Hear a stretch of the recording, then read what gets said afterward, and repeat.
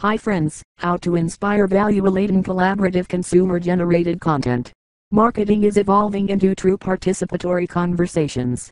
Once tidy, controlled marketing communications with distinct, identifiable corporate spokespeople are giving way to a messy tangle of market-based communications consisting of multiple authors including customers, competitors, observers, employees, and interested collectives.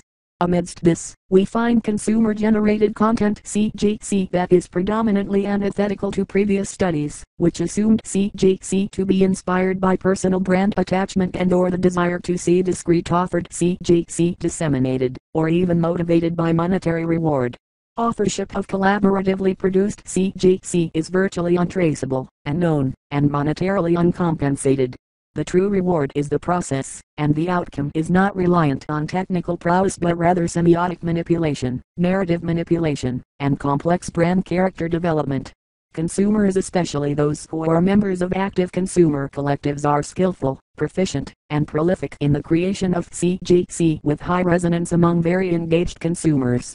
We advocate harnessing collaborative CGC efforts toward long-term marketing objectives, and offer a brief tutorial TheCaseSolution.com is the number one destination for getting the case study and analyzed. Thanks for watching this video.